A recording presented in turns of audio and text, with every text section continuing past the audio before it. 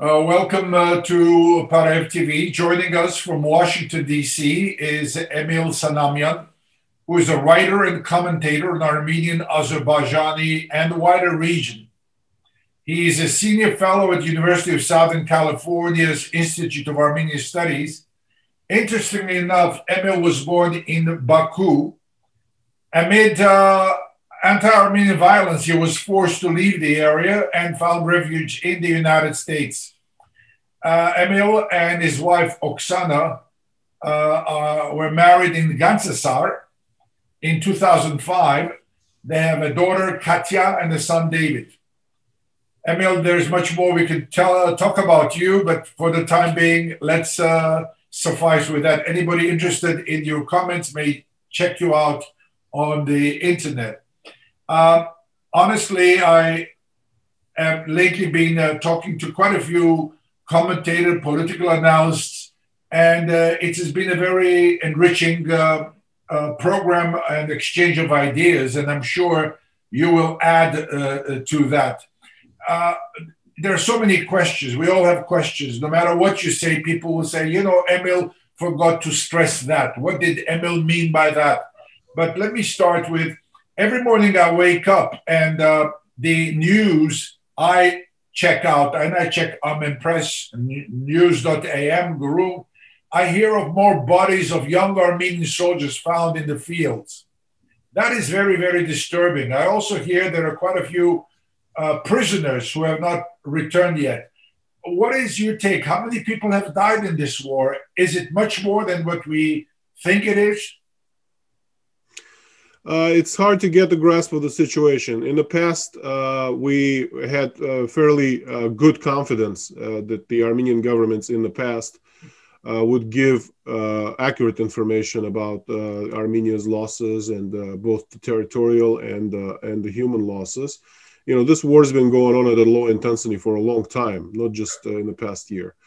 but of course, in the past year, we've had the catastrophic defeat uh, that is unprecedented in Armenian modern Armenian history. Nothing of this magnitude happened in the early 90s. Uh, and uh, even if we look at the, the overall confirmed uh, numbers, and the confirmed numbers currently range uh, between 3,500, 3,600 dead, possibly around 100 still imprisoned, and an unknown number of missing. Uh, the government officials uh, believe that we claim that uh, uh the overall uh, number of uh, dead will not exceed 4,000. so that's that's the numbers that I'm operating with. obviously, when you have a defeat of this magnitude, you know you have all kinds of situations uh, that make it impossible to give concrete numbers uh, for you know considering the nature of modern warfare where it's hard to find remains. Uh, sometimes you find fragmentary remains. You're not sure if they might be fragments of the same person etc so uh, it, it, there may be some fragments actually of uh, the other uh, sides soldiers remains that are in armenian custody and vice versa. So it's a that makes it just so so so much more difficult to get a co- complete grasp over the situation. But what's clear is that Armenia has never suffered defeat like this. Mm-hmm. What is clear uh, that the demographic impact of this war is actually going to be worse than the first war, uh, because if we look at the people, uh, individuals who died in this war, uh, almost half of the Armenian uh, casualties uh, were uh, 20 years or younger, or basically were not unmarried young men. Uh, that kind of uh, loss did not occur in the early 90s. This is comparable to the earthquake of 1988. Mm-hmm. Uh, so that's that's that's what uh, should be kept in mind. You know, besides that, one of the areas that is really getting attention, a lot of attention, is the unblocking of transport communication in the region joining Turkey to Azerbaijan, Armenia to Russia, Georgia to Iran. What do you make out of it? How how good is it for Armenia in the long run? Well, in the long run, in a perfect world, everything would be open and there would be no issues. Mm-hmm. But uh, of course, nobody lives in a perfect world. In the reality of that part of the world, uh, we still have uh, a, a, great deal of uh, uh, distrust and animosity even after, especially after this war. Imagine, uh, yes, uh, 3,500 dead on the Armenian side at least. It's a huge number. It's uh, it's a it's a big loss. Azerbaijanis suffered very similar losses, so they're they're uh, you know are not necessarily uh, friendlier towards Armenians after this war and they've uh, noticed that they can uh, take territory from Armenians and they can uh, do all kinds of nasty things towards Armenians and not uh, bear the price of it uh, internationally. So that's probably going to continue. Considering that environment, it's hard to talk about uh, transportation corridors or issues like that that would you know make it. you know, bring about a positive change. Positive change has to come politically first. Uh, considering what the discussions were about in the last uh, couple of months since the ceasefire, the ceasefire agreement stipulated that in return for uh, Russian control of the corridor between Russian controlled Karabakh and Armenian Republic of Armenia, uh, basically Azerbaijan will have a corridor via Armenia yes. into Nakhchivan. Uh, so what is, the discussion right now is about that uh, is about uh, uh, Azerbaijan having uh, basically unfettered access, ground access to Nakhchivan. Currently, they do have ground access to Nakhchivan, but via Iran. So, for example, if you want to go from Baku to Nakhchivan, you can board a bus, but it would have to go over Iran and go into Nakhchivan, or you can take a plane, or you can go to Turkey and go that way. Uh, but uh, they want to have direct ground access. Of course, that would uh, make it things easier for them, and also it would be another sign of political gain out of this uh, war because uh, they are uh, there is there is some criticism uh, of Aliyev that he didn't go all the way, didn't capture the entire uh, area, let the Russians come in and made you know in, inserted that uncertainty about the the future of Karabakh element of uncertainty. Uh, so that's what the focus is on right now. Is uh, Aliyev wants to get ground access to Nakhchivan, and also the Russians want to have direct uh, air uh, access into Karabakh and open the airstrip in, in Stepanakert to be able to resupply their forces there. You know, one of the more important things for Armenia is the economy, political stability, of course, and the economy. We always talk about the economy. Armenia is a country that is landlocked and heavily dependent on transit and tourism. We were so proud and happy when the numbers were going up in Armenia with the tourism. Uh, how can this uh, be achieved, uh, economic development, without uh, uh, transit, tourism, and peace and, and, stability in the area? It's going to be very difficult. Uh, at this point, not just the economic underpinnings of Armenia's development, but generally, Armenia's statehood is very much in question. I think uh, what this war has demonstrated is that in uh, 30 years, Armenia Armenia has not been able to accumulate uh, the intellectual, first of all, the intellectual capacity, and the second of all, material capacity to stand up for itself uh, as an independent state. Uh, because the, the reason I'm, uh, I'm saying stressing intellectual is that it was clear that considering the, the material disparity, uh, Armenia would not be able to wage a war against the Republic of Turkey. And the Republic of Turkey basically announced its plans in advance, moved its troops in the theater, and engaged the Armenian army. Uh, all of those things happened in front of the world. Everybody observed it. Obviously, the world did not care much about what was going on there, but the Armenian government should have cared about it mm. and should have avoided this war uh, with diplomatic effort and uh, all the other efforts that could have been undertaken. However, we didn't hear anything, uh, and that tells me that didn't hear anything from the leadership of Armenia or the diplomatic corps of Armenia. And that tells me that yes, the political leadership very much incompetent, but there is also the, the issue of the Armenian institutions that they weren't able to address this uh, in in a, in a, reasonable way. And uh, if you have that kind of uh, question mark over statehood, it's hard to talk about the economics in the sense that uh, sure. you know people will not have the trust in the system. Mm-hmm. Uh, and uh, the, the, solution out of this is uh, increasing uh, uh, predictability of the situation in Armenia, and that can only be achieved in one two ways. I think one way is to restart the Armenian statehood project, which right now has been greatly damaged, or go towards a more formal union with, with Russia because that's the only uh, the only uh, option available, and basically reintegrate Armenia into Russia in some shape or form, which would also increase uh, predictability of the Armenian situation, increase the investments in Armenia, etc. If we look at the history of Armenia, that part of Armenia, Republic of Armenia, previously, uh, you know, Erivan gubernia, or before that, uh, Armyanskaya Oblast, uh, we've had great economic growth uh, in that part of the uh, part of Armenia from 19th century when it became part of Russia, uh, and through 20th century it was part of the Soviet Union.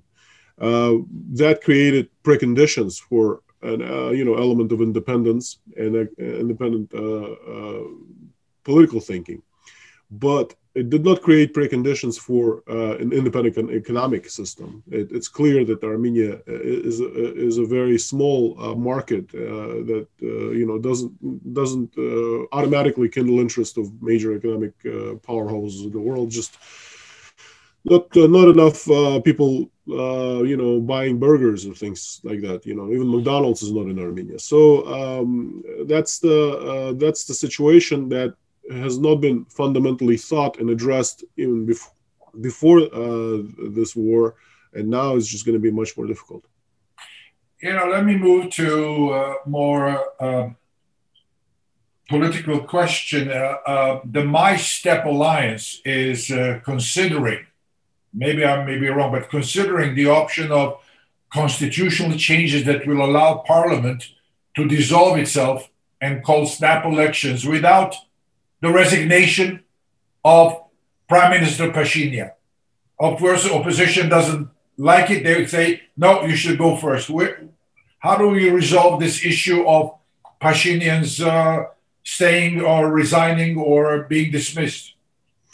Well, I, I would uh, note that uh, there, there is no such thing as uh, my step uh, thinking. I mean, there's there are people who are loyal to Nikol Pashinyan. Mm. Uh, they have shown that uh, doesn't matter to the extent to which Nikol Pashinyan fails, uh, they would just remain loyal uh, to their leader, and they owe uh, their position as members of parliament, as uh, members of political establishment, to him personally. So it's a the situation in Armenia has not fundamentally changed since Serge Sargsyan's resignation, when the Republican Party members were uh, basically owed their loyalty to Serge Sargsyan and would not contradict him when he violated his promise not to uh, stay in power. Yep. To stay in power, and they just they started to defend them and, and actually promote that notion. Uh, similar situation right now. So we have Nikol Pashinyan thinking of ways to stay in power. That's the only thing on his mind, from what I can tell. Uh, and uh, the way he wants to stay in power is to make sure that nobody, uh, you know, snatches power away from him. And because of the, uh, this current Armenian political system, uh, there's a possibility, say, if he resigns today, uh, to trigger the new elections. the parliament might just elect somebody else in his stead. Mm-hmm. from maybe within the parliament or somebody allied with, the, with them, etc. Uh, so he's to the extent to which he's paranoid about it, uh, pushes him towards thinking of changing the constitution to make sure that if he resigns, no one else is going to get elected by the parliament, and there's going to be an election. Mm-hmm, mm-hmm. So uh, that tells you uh, the the extent of the paranoia, but also tells you the the fact that he would prefer uh, to sort of put the trust in the Armenian electorate rather than the parliament, mm-hmm. even the current parliament. So uh, it, tells you that there are some issues uh, within Parliament that are not publicly um, uh, discussed, but uh, that, that exist. So uh, where we are right now is uh, it, it, appears that he thinks that it would be better for him to have an election sooner rather than later to be able to confirm his mandate. You speak about people who are loyal to Pashinyan. One of them is Lilit Makunts and I'm sure you've heard, and we all have heard, that there is a possibility that she may be appointed ambassador of Armenia to the United States. What is your take on that news? Well, I have to say, um, Lilit Makunts was one of the few members of uh, the uh, Nikol Pashinyan uh, political bloc party.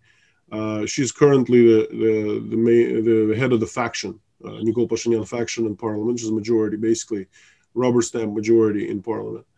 Uh, initially, she appeared to have uh, uh, more of an independent streak than the majority of the other uh, mm-hmm. Uh, members of uh, Nikol Pashinyan's team. She, you know, would hold meetings with people uh, that were seen as sensitive, that other uh, members of uh, Nikol Pashinyan entourage avoided. She made statements uh, to the extent that you know we're not gonna uh, you know uh, we're not gonna go in violation of the constitution and the certain measures that Nikol Pashinyan was pushing, whether with the judiciary or other aspects of you know his consolidation of power.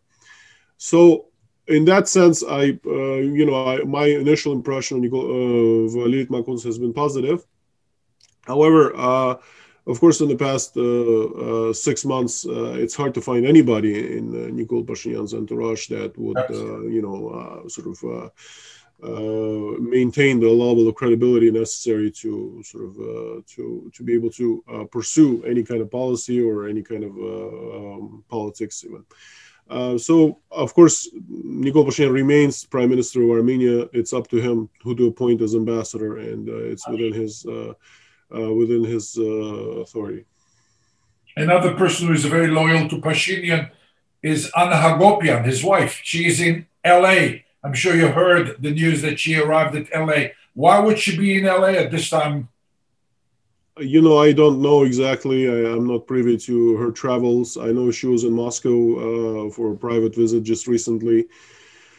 Uh, it could be that uh, you know it's some um, sort of informal diplomacy uh, on the part of Nikol Pashinyan trying to rebuild some kind of support uh, in the main diaspora communities because that's what it looks like. I don't know. Maybe she's doing it totally uh, connected to her family plans. I don't know. Her daughter, I think, maybe reaching college age, so it could be related to that. So, um, so there, it could be just uh, that kind of personal, uh, uh, you know, uh, thing. What the problem has been with uh, uh, Nikol Pashinyan is that yeah, he doesn't trust a lot of people. Um, so Anna Hagopian was actually his envoy, his informal envoy during the war in Karabakh. Mm-hmm. I heard some people say, well, at least he did send somebody. and didn't completely stay out of it. But of course, as a commander in chief, he should have been on the ground and should have he should have been involved in it rather than his wife. And if you look at the uh, the uh, the commentary that uh, Nikol Pashinyan engaged in during the war, it was just totally not helpful. Not helpful diplomatically, not helpful in terms of mobilizing, not helpful in terms of informing the people of actual reality on the ground. Uh, so uh, that kind of annoyance uh, that he generated uh, around him, and not just annoyance, but harsher feelings towards him. Of course, they uh, they they try they kind of they spread towards his family members as well. But you know. they're private citizens. they, you know, they deserve, I think, some element of, you know, distance from, you know, attacks, political attacks you know, for the past few months, we have uh, conducted interviews with uh, very, very influential, uh, knowledgeable people. And the, the, main question turns around what do we do now? Where do we go from here? Uh, you know, everybody wants a, a, golden answer. We want the answer that solves all our problems. And so far, we haven't gotten that answer. What is your take? What do you think? In, you know, what does Emil think we should do now as we move forward? Well, if we look at it, uh, look at the situation a few years ago, uh, I uh, my sense was that Armenia was in a kind of a political deadlock. Uh, the you know leadership of Armenia, Serge Sargsyan, uh, was not doing a lot to move move the country forward uh, in any yeah. in any kind of way. So. the protest movement was something that I also welcomed, even though I'm not a citizen of Armenia. You know, in, in small ways that I can influence people, I felt that it was a good thing that Serge Sargsyan resigned. However, I never thought it was a good thing to hand over power to Nikol Pashinyan because I, from the beginning it was clear that uh, he was a very problematic uh, personality with a lot of baggage. Uh, mm-hmm. Uh, but unfortunately, Serge Sargsyan made those two mistakes. On one hand, tried to stay in power himself, then handed power over to Nikol Pashinyan. But now that he's been elected, we've had uh, this government, and uh, the government has been nothing short of disaster. Uh, the not just this war, and this war is of course the biggest disaster, but before that as well. I mean, it, the only thing of concern to Nikol Pashinyan was consolidation of power, making sure nobody challenges him, making sure you know he's got uh, you know everybody takes uh, his instructions, judges, etc. So uh, that kind of leadership uh, is not something that I uh, uh welcome. But after this war, I don't think it's it's it's it's possible to expect anything positive from this government. So. Uh, we have basically a default option. It's the old the old government. yes, they you know there are issues about corruption, about issues of of their uh, you know undemocratic uh, behavior, etc. But at least there was some level, level minimum level of competency that they uh, you know maintained, and to this day maintain. So that's that's kind of the option that Armenia faces: continue with the current incompetent government, or default to the known uh, you know for its uh, failings, but uh, maintaining some minimum level of competence for former government. So that's that's the options. Uh, I don't see any other third option uh, realistically, and uh, you know it might emerge uh, in the future, but at this point, those are two options. And another thing is. Uh, we've had uh, an experience where people elect and their choices are not necessarily to their own benefit. So that's that's another reality that you know there's been a major failure of uh, democracy in Armenia. Hmm. uh, not because uh, people are interfering in the, in the process, but because uh, there is a real problem in terms of uh, people being able to make informed choices. And we saw from our experience here in the United States that you know that kind of problem exists here too. Uh, but uh, you know, if we do have institutions in this country that sort of protect against outside attack uh, in a sense that you know when you have a destructive uh, uh, personality inserted into the political process like Donald Trump in U.S. In in Armenia, you had uh, Nikol Pashinyan that you know left a lot more damage after after uh, is living still leaving a lot of damage after himself. You know, you speak about informed choices. Do we in the diaspora have informed choices? Well, we in the diaspora um, it's just uh, I, I, it's very hard to speak in general terms about the diaspora because we have uh, the elements of the uh, communities that uh, of Armenian descent that uh, have different degree of interest, different degree of involvement with Armenia. Of course, we have a, a substantial community that is directly involved, thinks about Armenia, reads news from Armenia, etc. Um, you know, I, I, I I, I, I, have to say though that uh, there has to be an appreciation that uh, um, we are on the sidelines in this situation. So as long as we're not citizens of Armenia living in Armenia, uh, all we can do is you know have the heartache and uh, you know um, yeah. post online. I don't know. that's that's that's where we are. Uh, we have uh, we have that sympathy every once in a while. You know, we can answer a question, help somebody out, but that's that's where we are. Unless you are ready to sacrifice your uh, level of comfort uh, of, life wherever you are in tbilisi or in uh, moscow or in uh, west whatever uh, and live in armenia um, you are outside of this process. Um, that can change somehow but at, at, this point i don't see it's just not fair uh, to have the voice when you don't shed the blood for this country. Uh, we just had a war, and uh, I don't know how many uh, Armenian Americans participated in it. I don't think any, or you know, I don't. I'm not aware of any. So that's what the reality of it is. So we are on the sidelines of it. We are members of our own con- uh, country's uh, citizenry. We have uh, our own problems in this countries and of course, we, we will continue to talk about Armenia. We will continue to uh, hope that Armenia changes for the better, but we are on the sidelines of it. You know, whenever I look at the area, it's confusing because there are so many moving parts to the whole situation. We we we are definitely for Armenia. We believe in Armenia. We want to believe that the future is bright and all these other things. But I also always try to follow what Russia or Putin. what are their? What, how do they move? What do, what do they want from the area? What does Putin or Russia want in the area? Because they're the big boy there. No matter what we think, it's to an extent going to be what they want. To an extent. Yeah. It's it, it uh, frequently when you look at the big power decision making uh, from a small power, a small uh, country perspective, uh, there is a sense, oh, they know everything, or they, um, you know, have a plan for everything. They don't, uh, and primarily because it's too small for them Uh, you look at it. You look at these things from Russia's perspective. They don't really care where the Armenian-Azerbaijani border lies. Yeah, but there is Azerbaijan next door with the oil fields, so the whole region of our interest. Yes, bro- broadly speaking, they don't want Armenia to disappear. Uh, but where Armenia-Azerbaijani border is going to be, uh, that's not uh, something that's on top of their mind. So uh, it's very important to what extent uh, the Armenian leadership and the Azerbaijani leadership can bring their perspective to this particular person, Vladimir Putin, to get him thinking in a certain way. So uh, we during this war, we know from Putin's own uh, statements that were not contradicted and um, extent confirmed by P- Pashinyan. From the day one, Putin tried to uh, you know stop the war.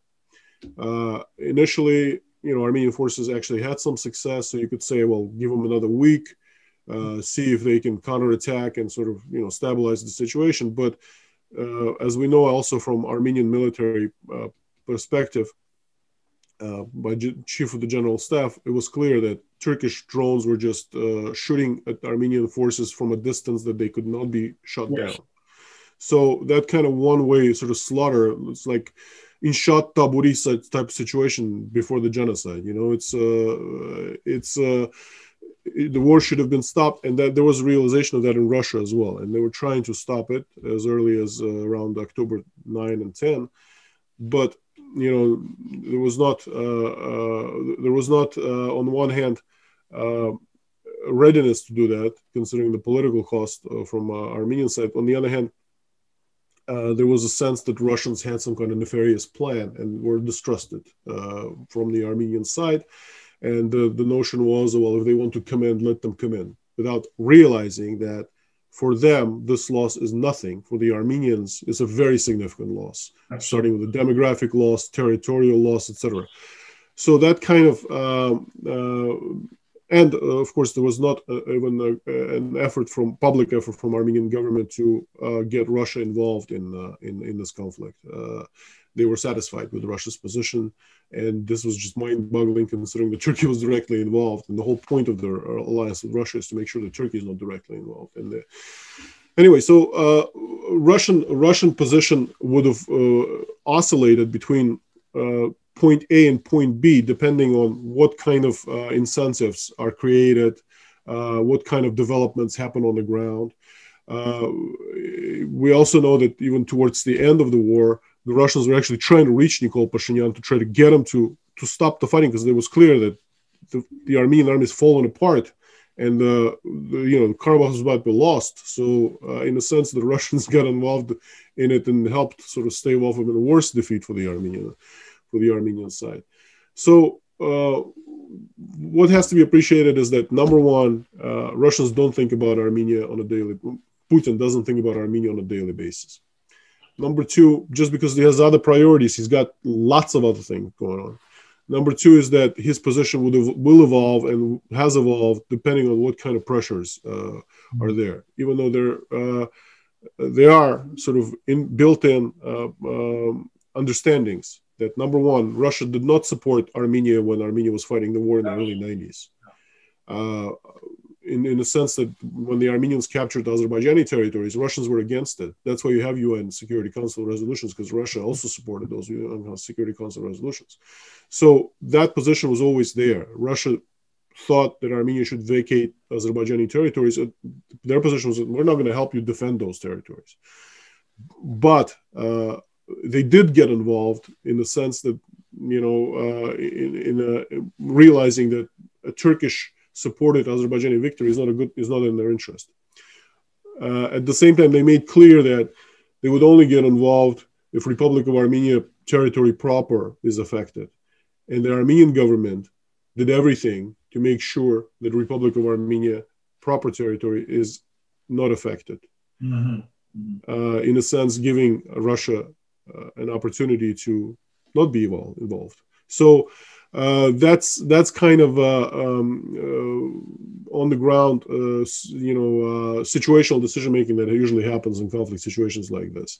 So, what what does what does Putin think about it in the future? It's clear that he is interested in um, in some kind of presence, military presence in Armenia and Karabakh and in Azerbaijan for the long term.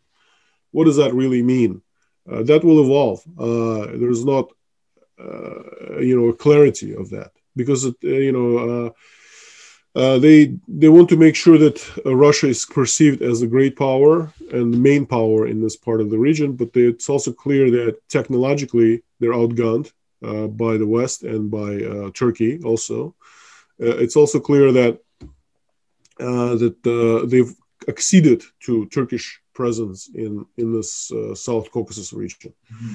Now, what is Turkish motiv- motivation? We can get into that too, but it's clear that this is the second uh, theater, second theater for Russia-Turkish competition confrontation, in addition to Syria, where Russians sort of Russian presence in Syria was really really unnerving and problematic for for the Turks, and I'm sure uh, this sort of Turkish presence in a similar way uh, problematic for Russia you know, you're in Washington, D.C. Just tell me, what do you think is happening with the American policy uh, uh, in the area? What is their next move? What can we expect from the Biden government? Well, uh, it's clear that they're, you know, they're going to be doing a lot of rebuilding, uh, and the main uh, direction of rebuilding is going to be with the European Union, uh, with Britain directly, now that it's not part of the European Union, and also I think with Turkey they will try to rebuild the relations um, in the sense that you know they would try to bring Turkey back into anti-Russia alliance. That would be their uh, their mm-hmm. priority, um, because uh, from uh, you know their perspective, from U.S. Uh, government perspective, Russia is the biggest problem uh, for the U.S. Uh, has created and will continue to create problems and it's the you know a challenger. Of course, there's also China, and uh, they they see this sort of uh, Russian China Russia China alliance uh, that mm-hmm. you know you know block that uh, that is the biggest problem. So they will focus on that. Mm-hmm. Uh, all of this other min- minor issues. Uh, you know, I'm not sure, even sure that Armenia graduates to a minor issue. You know, in their in their minds. Of course, there's the Armenian American community, but I don't see it uh, influencing uh, decision making process here much at all. I looked at the, the initial, uh, you know, commentary by uh, Secretary of State uh, nominee uh, Antony Blinken. I didn't see much difference between what he was saying and what the previous government was saying. Mm-hmm. So yeah, they're gonna throw in some humanitarian aid. That's basically it. Yeah. Emil, what is interesting about your background is that you were born in Baku, and I'm sure you and your family have gone through very unique experiences. Uh, how has that influenced you in what you are doing? And tell us about more about yourself. How can you capsule your life? Who are you? Uh, you know, yeah, I am. A, I am in a kind of a, a weird uh, category because uh, being born in Baku, I grew up, um, you know, with an Armenian name, but that was the extent of my Armenian interests. Uh, that and also Ararat uh, Football Club. Um, and uh, because of this conflict, I sort of became interested in what what is going on. Why are we leaving Baku? I was 12 years old at the time. How old were you when you left? How old were you when you left? 12. 12 years oh, old. So you you you know about life there, yes. Yes, yes. And uh, you know, I uh, I like Baku. It was my you know my grandparents were born there. It's uh, you know we were there pre uh, pre for you know for several generations. So it was uh, that experience. But also we after Baku we lived in Moscow, uh, and it didn't feel like uh, you know. Uh, you know we didn't feel like refugees in a sense uh, we didn't we didn't end up uh, in the worst sort of uh, place to live or worst place to live or didn't experience a lot of hardship. We did experience economic hardship of course in the, in the soviet union people weren't that rich to begin with but when they lost uh, property when they lost uh, jobs it was very hard to rebuild. Uh, and of course this was also the period of dissolution of the soviet union when you really didn't uh, have uh, safety nets anymore. Sure. So uh, we had an opportunity to uh, emigrate to the United States as refugees from Baku, uh, even though we didn't maybe feel like refugees, but we were in fact refugees. And uh, we lived, we, we, moved to the United States in 1992, and I grew up here. Of course, at a distance, I continued to study Armenia.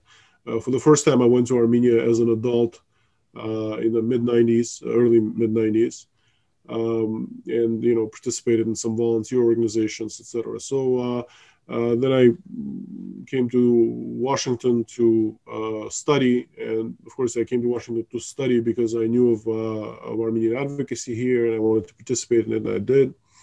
Then I wanted to uh, work for the Armenian Reporter for a number of years uh, before it closed, and uh, now I work with the USC, which has an Armenian Institute, and one of the few institutes that uh, focuses on contemporary Armenian issues rather than uh, history of Armenia or Turkey or other places.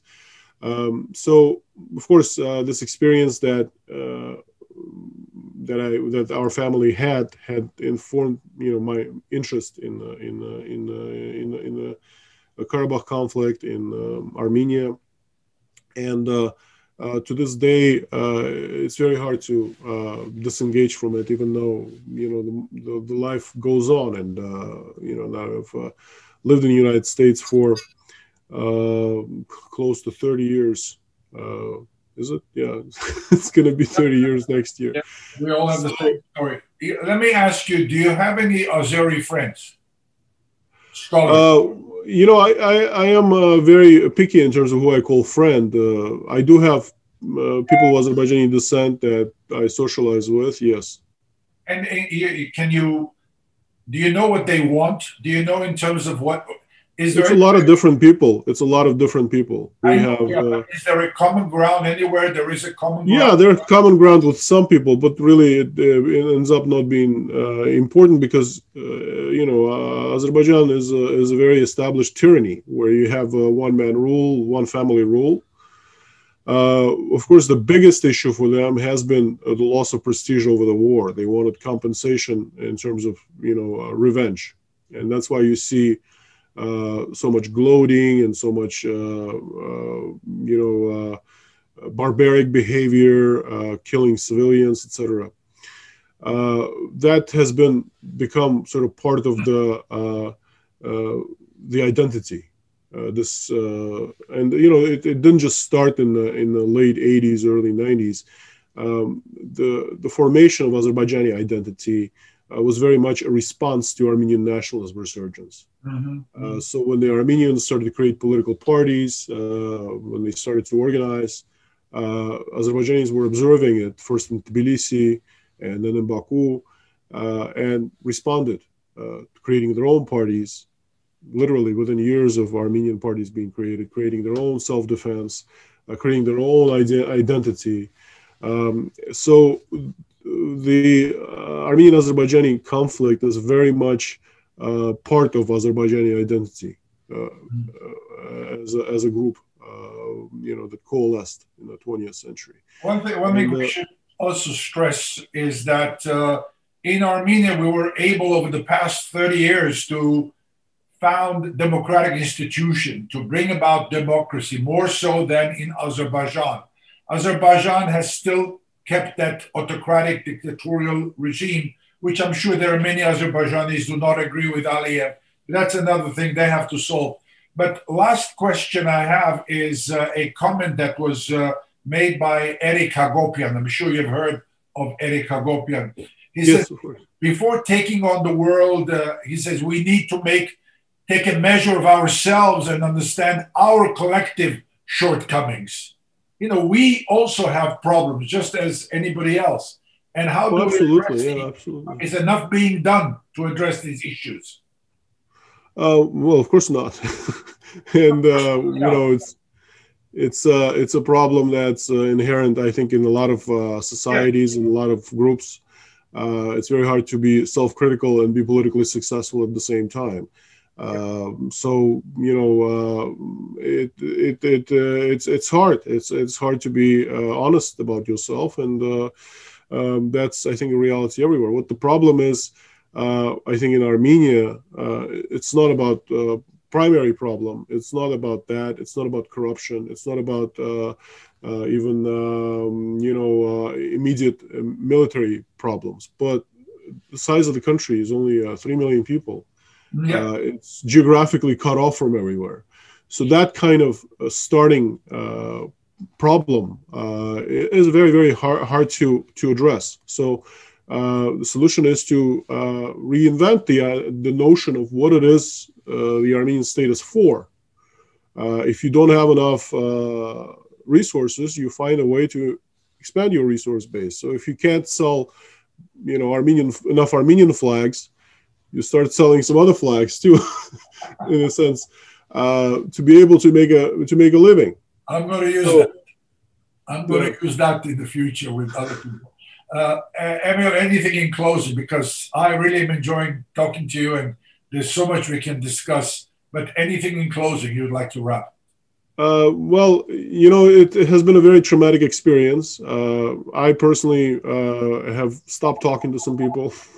so I would only say the following. Um, uh, we really need to uh, have at least some basic uh, minimum understanding of what's acceptable and what's not acceptable. And of course, it's up to the citizens of Armenia to decide this. But what this government in Armenia has shown in the last two years is that uh, you know, it's it's a it's a it, it's a really really important to have that minimum competency level to be able to uh, take decisions that affect so many lives, so many livelihoods, and uh, the, the the extent of the tragedy that uh, the Armenian people have lived through, I don't think has been appreciated even in Armenia itself so far.